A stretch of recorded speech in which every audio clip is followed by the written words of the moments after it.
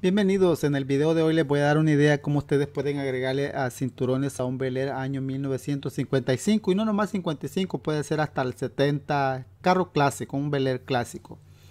Hello, welcome to today's video will give you an idea how you can add or, install a seatbelt on the 1955 Bel Air. Se preguntarán por qué agregarle cinturones a un Bel Air, que acaso no los traen ya puestos. Y la respuesta es no, el carro clásico, como en aquel entonces no había una ley que exigiera que el carro tenía que traer cinturones, no los traían. Muchas personas hoy en día, como hoy hay leyes que requieren el cinturón de seguridad, le están agregando o le han agregado a esas partes al carro. Porque si no lo trae, pues uno puede agarrar un ticket de la policía, una multa por no traer el cinturón puesto. Muchas personas le están haciendo eso. Si usted ve un carro clásico que le ve cinturones es porque se los han agregado. Les han agregado eso y con el, un buen propósito el tratar de salvar uh, vidas. Este es un Bel Air. Uh, back then, uh, there wasn't a law that is saying the car has to come out of the manufacturer manufacturing with seatbelt. No, there wasn't a law. So that's why today a lot of people are adding seatbelt to the, especially to a classic car. So, y en este video van a ver el procedimiento que lleva en, cuanto a cómo agregarle cinturones a un carro clásico, específicamente un Bel Air. Eso es lo que van a ver en este video y el procedimiento es fácil. El procedimiento es muy fácil cómo agregarle los cinturones. Ustedes ven aquí, ustedes pueden ver este círculo del lado izquierdo, pueden ver este que está eh, del lado izquierdo del caballete y hay cuatro círculos más o menos la distancia que va a llevar. Esto es cuando el carro se mantiene original lo que es el chasis. Porque estos carros los alteran y los alteran bastante. Ya los han traído acá bien alterados lo que es el chasis. si el carro se mantiene original de, de, de esta línea, si el carro se mantiene original, digamos que se mantiene original de esta línea, son más o menos lo, que más o menos lo que lleva de distancia de una línea a la otra son más o menos a 12 pulgadas. De esta punta del círculo a este círculo son 12 pulgadas las que se le va, se mide, se le parte por mitad acá, 6 para allá y 6 para acá. Eso es cuando el carro se mantiene original. Puede ser que sea 11, puede ser de que sea 13, los puede hacer a esa medida. No va a afectar en nada pero yo siempre casi lo pongo a 12 pulgadas de distancia de uno al otro. De aquí, de donde comienza aquí, porque aquí está una bajada, es parte del metal, son más o menos de 3 a 4 pulgadas. Si el chasis se mantiene original, de 3 a 4 pulgadas. 12 inches from this circle to this circle, and then you make a hole right here, and then make a hole right here. But before you make that hole, you have to make measuring from here to here is 3 to 4 inches. Tienen que asegurarse de eso. Eso es la parte de en medio. So, ¿Qué hay del lado, del lado del motorista? Del lado del motorista, si no le han alterado lo que es el fender, porque muchas veces le alteran bastante esta parte para ponerle llantas más gruesas. Si no le han alterado esa parte, pueda que sean, yo le he puesto 4 a 5 pulgadas, pero usted lo puede medir de 4 a 6 pulgadas. De aquí, aquí, 4 a 6 pulgadas no le va a afectar que se lo haga de 4, que se lo haga de 5, no le va a afectar. El cinturón va a quedar un poquito más para acá. Entonces de 4 a 6 pulgadas. Aquí yo le he puesto 5, pero puede agregarle en vez de 5, puede agregarle de 4 a 6 pulgadas. Eso es de acá a acá. Y de acá arriba, acá arriba pueden ser de 2 a 4 pulgadas. No le va a afectar tampoco. Si le hace eso, aunque yo le he puesto 2, pero pueden ser de 2 a 4 pulgadas y aquí va a ser el hoyo usted. Lo mismo al lado izquierdo, al lado del pasajero, es lo mismo. Estoy hablándole del asiento de atrás. El asiento del frente casi es el mismo procedimiento y es un poco más fácil porque la lata está plana. Acá la lata no es plana, aquí hay subida. En esta parte hay subida. En, el del pasajero, en el de enfrente es más fácil. Siempre agarre estas medidas de referencia para hacer lo que son lo del motorista. Bien importante eso. Tenga en cuenta esto.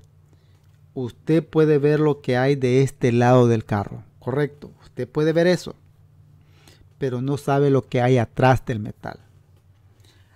Before you make that hole, you have to make sure it's nothing behind.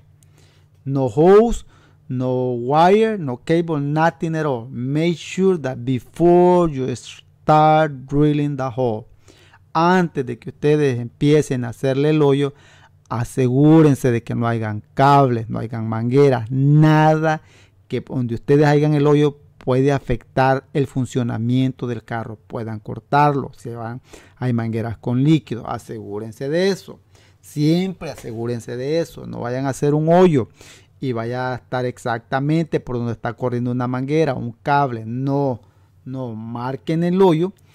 Eh, ve, levanten el carro siempre y cuando sea seguro que ustedes lo levanten y vean por abajo si no hay nada si no hay nada, entonces en donde ustedes marcaron el hoyo es ahí en donde lo van a hacer. Siempre tomen las medidas necesarias antes de hacer un hoyo. ¿Cuáles son esas medidas? Levantar el carro, este, asegurarse de que no se vaya a mover, que no se les vaya a caer cuando lo levanten. Tengan en cuenta esos detalles porque es su vida la que está de por medio. Cuando lo vayan a levantar, asegúrense de hacer las cosas correcto correcto, como se tienen que hacer. Ok, ya teniendo estas medidas de 4 a 6 pulgadas de aquí a aquí, de 4 a 2 pulgadas de aquí a aquí, hacen el hoyo. De 4 a 2 pulgadas de aquí a aquí y 12 pulgadas de aquí a aquí, hacen los hoyos. Es así. Y ahorita van a ver el procedimiento, no es nada del otro mundo, es algo bien fácil que se puede hacer eh, asegúrense de tener la herramienta necesaria para hacer los hoyos. Ahorita vamos a pasar al video y van a ver que el procedimiento es fácil.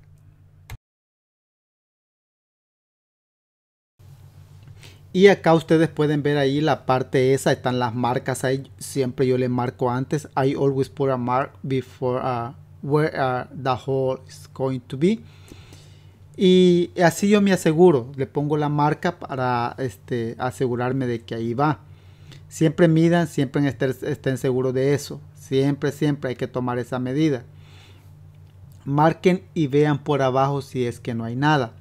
Cuando ustedes estén seguros de que en dónde es que va a ir el cinturón, entonces sí ya pasen a hacer el hoyo. Antes, antes de, empezar a hacer el hoyo, asegúrense de que tengan los cinturones correctos, las partes correctas.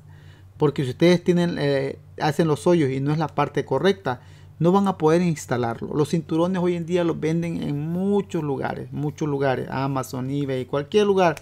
Y están bien baratos, están bien baratos. Hay cinturones de lujo también. Pero uh, muchas personas se van por lo clásico, el cinturón sencillo, el cinturón que no es de lujo. Aunque en los jig deportivos muchos le agregan este cinturones a deportivo. Muchos le agregan ese tipo de cinturones. Y le voy a pasar a el procedimiento este asegúrense de tener las partes correctas. El tornillo que le van a poner, otra cosa, tienen que tener en cuenta el tornillo que le van a poner al cinturón. Que sea un tornillo y que tenga una guacha que la quede sola. No le van a poner una guacha sencilla. Este tienen que poner una guacha que tenga un tope y que se la quede para que eh, no se vaya a aflojar con el tiempo lo que es la tuerca lo que es la porque la tuerca se puede aflojar esto es lo que lo que viene con los cinturones lleva unas tuercas bien, unas guachas bien grandes. Y, así tiene que ser, esa guacha tiene que ser grande. Porque este, como para que agarre bien lo que es la parte de abajo, el, metal. Bien importante eso. Lean las instrucciones si es que necesitan leerlas. Y si no, pues este, no hay necesidad de leerla. Pero no duele tampoco que las lean. Estos son los cinturones. Viene un par. Un, me, uno, masculino y uno femenino. This is the a a pair, a female and male. Y este es, una, esto es uno. Esto va así. Esto lo pueden poner en medio. Porque el cinturón de en medio, el cinturón de el, asiento de atrás es de tres personas. O tiene que llevar tres, uh, tiene que llevar tres pares de cinturones. O sea, seis por todos. Y esto lo pueden poner en medio, lo pueden poner a los lados, ahí dependiendo como lo pide el cliente. Es así como asegúrense de que lo ponga y que la que y sale bien, so este va a ir acá. Yo me aseguro de que ponerlos en, por ejemplo, puse ese atrás allí. Ese es el el, el, el female, ese es el femenino el que puse ahí, el hembra, y el que está al lado derecho es el macho. Ustedes lo pueden poner del lado contrario, no les va a afectar. Siempre yo así los pongo porque los clientes así lo piden en veces. Pero el cliente que sabes que ponme este lado izquierdo o este lado derecho y yo sigo las instrucciones de él, él es el que paga. Yo siempre pues eh, lo hago satisfaciendo al cliente. Ustedes pueden ver la herramienta que tengo ahí. Este es un martillo de aire. Hay martillos eléctricos también. So this is a, air hammer and it's so easy. Uh, made a hole with this kind of tool. Es muy fácil hacer este hoyo con este tipo de herramienta. Y si yo estuviera con una broca ahí, a lo mejor le hubiera hecho el hoyo con una broca pequeña y ahí me hubiera ido con otra broca más grande. Y como la lata no, no está tan fácil de hacer el hoyo, me hubiera costado. Con esto, luego, luego, luego, luego lo hago. Y claro, ahí ya vi de que no hay este, nada por abajo, es por eso de que los hago. Usted se eh, puede ver de que nomás ha sido un poquito de presión y lo hace. Esta herramienta es para eso. Esta herramienta es para cortar hierros ah, o para hacer hoyo. Es un martillo eléctrico. Ahí, ahí está el hoyo, usted lo puede ver. Ahí está el hoyo. Este martillo eléctrico es Snap-on, caro, pero es, dura mucho, dura mucho. Hasta estoy un poco arrepentido de haberlo comprado porque lo ocupo, no lo ocupo del diario. Pero cuando lo ocupo, lo ocupo y hago el otro hoyo aquí. Y ya tengo los cuatro hoyos. Entonces yo lo que voy a hacer ahora es ponerle los tornillos. Ustedes los hoyos los pueden hacer con una broca. Si yo lo hago así para que abunde el trabajo y salga más rápido. Entonces aquí pongo un par. Aquí tengo un par y aquí voy a poner otro par porque el asiento es de, de tres personas.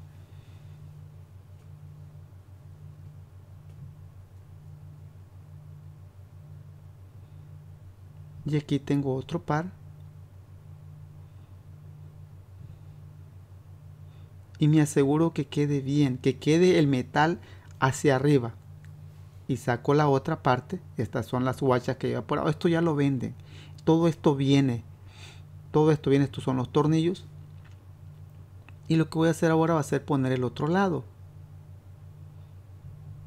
Y aquí nomás los estoy metiendo, pero me va a tocar que apretarlos por abajo. Y ahora tengo que, muchas veces, o otra cosa, Muchas veces los clientes piden que se le corte el cinturón porque vienen a cierta medida. Uno es ajustable, uno de esos es ajustable, el otro no es ajustable. Ahí están. Aquí no les estoy cortando porque el cliente no pidió que se le cortaran. Y, pero muchas veces se le corta. Muchas veces se le corta lo que es el, el, eh, el macho. Se le corta ese. Y lo que yo voy a hacer es empezar a poner esto. Esto es bien sencillo de ponerlo. Uno tiene que en veces si usted no, no nunca lo ha hecho, busque a alguien que le tenga por la tuerca abajo y usted lo puede apretar por arriba. Yo esto yo lo hago yo solo. Yo he aprendido así a hacer las cosas solo. Claro, es bueno si levanta el carro, asegúrese que esté bien levantado porque es peligroso, no lo levante bien y le cae encima, no hay nadie para auxiliarlo. Siempre asegúrese de eso, note, ahí es donde va la guacha esa, es bien grande esa guacha. Y ahí voy a poner este yo a la tuerca. Esto es el lado del pasajero que estoy haciendo, la parte de atrás. Y ahí puse una guacha de presión. Bien importante esa guacha de presión. Porque no se va a aflojar lo que es el, la tuerca. Con el tiempo no se va a aflojar. Y cuando le pone guacha de presión, uno no necesita en veces tenerle, solito la puede apretar por abajo. En muchas ocasiones, en veces tiene que tenerlo. Ya está esa guacha, ya está ese tornillo puesto. Ahora vamos a buscar el otro. Note, el otro está un poco el difícil el acceso. Uno de ellos está un poco difícil. Ahí está uno, se está fácil.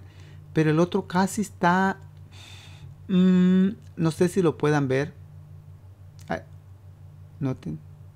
Ahí le voy a poner la guacha y voy a hacer lo mismo. Es un poco complicado como yo estoy haciendo todo. Con una mano tiene que hacer esto uno. Porque no, no he levantado el carro. El carro no lo he levantado. No está tan bajito. So yo me puedo meter ahí y hacer esta función. Cuando se metan siempre asegúrense de llevar unos lentes porque de esa manera si les cae basura no les va a caer en los ojos.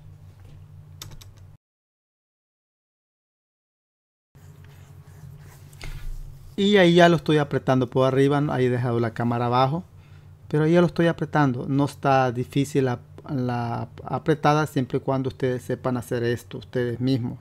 Muchas veces tienen que tener una vice grip, una tenaza de presión, teniéndole a un lado y apretándole al otro lado cuando ustedes están solos. Pero cuando hay alguien más, como les comenté, pueden valerse de esa persona para que les ayude, sea teniéndole abajo o teniéndole arriba mientras ustedes apretan. Eh, ¿Qué más en cuanto a esto? Si ustedes pueden ponerle silicona a lo que es la guacha, háganlo de esa forma. La humedad o el agua no va a adentrar y va a devorarse poquito a poco lo que es el metal.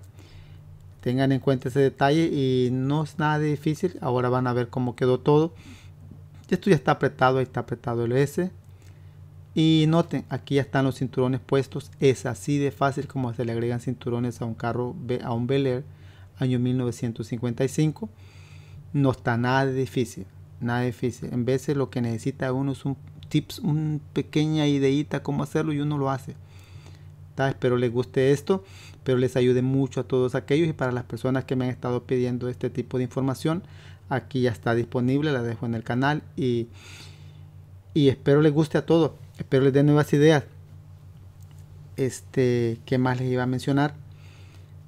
Este, estoy subiendo videos muy a menudo en cuanto a todo lo que tiene que ver con tapicería ah, de autos, tapicería de barcos, todo lo que es este, todo lo que tiene que ver con motocicleta, convertibles, sunroof, uh, carros clásicos, ah, todo eso. Subo videos a menudo, yo diría cada semana subo y variado en cuanto a lo que yo hago así es como lo que yo subo. Por ejemplo, hay temporadas que cae mucho convertible, estaré subiendo mucho convertible. Hay temporadas que cae mucho Sanro, estaré subiendo de Sanro. Temporadas que cae mucho carro clásico en el verano, subiré mucho carro clásico. So, suscríbase al canal si no lo ha hecho para que no se pierda esos videos. Y este, dele clic a la campana. De esa manera, cuando yo subo un video, le llegará a usted la notificación de que he subido un video y usted lo podrá ver. El propósito de este canal es para darles ideas a todos aquellos que están aprendiendo lo que es tapicería, para que aceleren el, yo diría el aprendizaje a pasos agigantados. Eh, ¿Qué más? Si usted tiene una pregunta en cuanto a este video o en cuanto a cualquier otro video, siéntase libre de dejar la pregunta eh, eh, en, este video, ahí donde se, donde se dejan las preguntas, o a través de los links de las redes sociales que dejo allí en la descripción del video y yo estaré respondiéndole eh, lo más pronto posible en cuanto tenga tiempo. Le estaré dando respuesta a su pregunta. Muchas gracias y aquí está el video que me han estado pidiendo. Se los uh, agradezco mucho. Cualquier sugerencia que tengan también es bienvenida. so thank you very much guys for watching this video. I hope you enjoy it. If you like it, don't forget to, um, uh, hit the like button and subscribe if you haven't. I am uploading videos so often related to uh, upholstery. So thank you very much and see you in the next video.